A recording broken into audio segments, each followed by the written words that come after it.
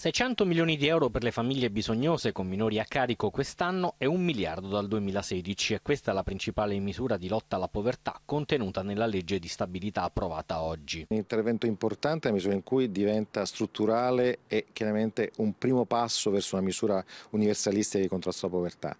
Evidentemente la misura, la dimensione ecco, dell'intervento stesso è molto limitato. Nel quadro di una manovra che nel suo complesso sfiora i 30 miliardi di euro, sembra che il contrasto alla povertà abbia un ruolo marginale rispetto ad altri obiettivi. La domanda è se da una parte si danno molte risorse alle famiglie, alle famiglie che stanno anche meglio in questo Paese, per eh, far riprendere i consumi, perché dall'altra parte famiglie in condizioni di povertà assoluta non debbono avere una dire, un aiuto che possa renderle appunto capaci di uscire dalla condizione di povertà. La Caritas chiede da anni un intervento organico e generale contro la povertà piuttosto che misure per singoli gruppi di persone. Il dubbio può sempre rimanere quando si fanno scelte categoriali, per questo noi vogliamo scelte universalistiche, perché le categorie vanno in competizione l'una con l'altra e onestamente in qualche modo incidono sul principio costituzionale di uguaglianza.